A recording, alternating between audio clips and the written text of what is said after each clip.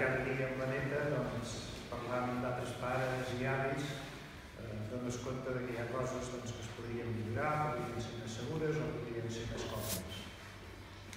Llavors, en aquest aspecte, jo he fet dos, com dos apunts, diguéssim, el primer que és estrictament els elements de joc infantil i el segon que seria una mica al, al voltant del parc, que també hi ha alguna cosa que es pot solucionar.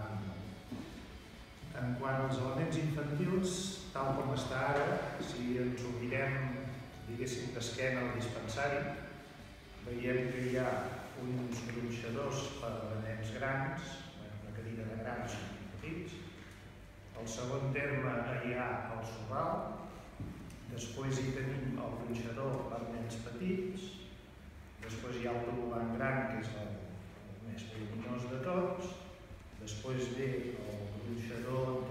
o que també en diuen de tortuga, llavors els dos cavallets de molles i per últim el eh, dels més petits. Llavors què passa aquí? Que eh, per lo que es veu cada dia això està tot barrejat, el que són nens grans i el que són nens petits. Llavors tenim, per exemple, que un nen o nena de 3 anys que vingui de la Serreta i vingui al parc, imaginem que primer vol anar al solar. Ha de travessar parc i anar al solar. Vosaltres ho així. I anar al solar. Quan està cansat d'anar al solar, vol anar al tobogan. Ha de tornar a travessar tot el parc i anar al tobogan. Quan està cansat del tobogan, vol anar al gronxador. Torna a travessar tot el parc i vas al petits. Llavors això té un problema, un problema no un perill, que és que cada cop que aquest eh, nen o nena passa, per exemple, per davant del tobogan gran, un nen gran i, i donar-li una trompada no va ser bé. Igualment com passa per davant de la, del gronxador de cistella, quan hi pugen nens grandets, també va a cabola. Això per una banda. Per una altra banda, la persona gran, sigui pare, avi, que vigila aquest nen, té que anar tota l'hora d'una banda a l'altra.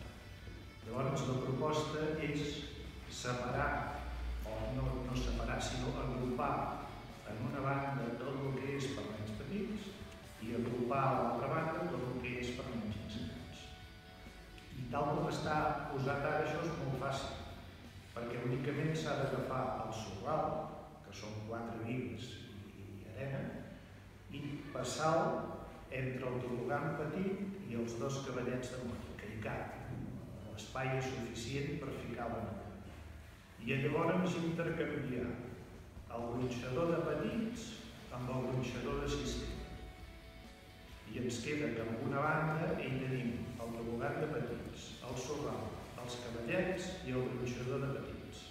Tot allà junt. I a l'altra banda ens queda el tobogan gran, el, col·lumpio de cistella i el tobogan per grans amb una cadira per petits. També tot en banda. Això facilita que la persona que mira la canalla de tot allà només ha de girar el cap, va passejar-se amb un ball, i la canalla estan més segurs en què poden anar d'un element a l'altre amb quatre passes aquesta és, diguéssim, la primera part d'aquest tema. Llavors hi ha una segona part que seria el carrer Bages, que és el laboratori, el dispensari, la biblioteca, que aquí tenim que hi ha, en una banda, els aparcaments eh, senyalitzats i reservats al personal sanitari, bé, i a l'altra banda els aparcaments senyalitzats que estan per la gent en general, el poble Vic. El problema és que aquests aparcaments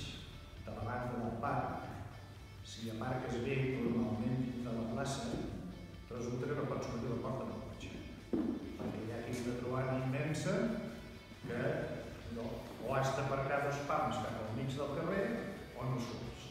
I tot i així t'has de refregar per tot unes troades per sortir del cotxe. A part d'això, és davant del dispensari, moltes vegades hi va gent amb la mobilitat una mica perdida, si aparquen allà és un drama, Imaginem-se que algú porta amb un cotxe una persona que va amb cadira de rodes. Ha d'agafar la cadira de rodes i obrir-la al mig del carrer, perquè no hi ha cera. Llavors, eh, per solucionar això, entendre, si mirem a l'altra banda de les trobanes, a dins del parc, veiem que de cap a cap del parc hi ha tota una zona, jo diria, de 3 metres ben bé o més, que no hi ha res de mobiliari urbà, res d'elements de joc, és, és totalment net.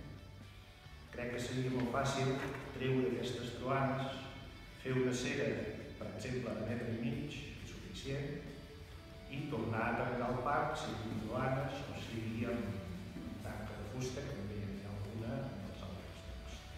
I llavors ens queda un carrer amb una cera per banda, que és un normal, i els aparcaments que puguis pujar i baixar no. Tot això, eh, per posar-hi preu, jo no soc entès en pressupostos, per tant no ho he fet ni ho puc fer, però penso que el cost és molt baix perquè pràcticament és tot feina que podria fer la brigada municipal.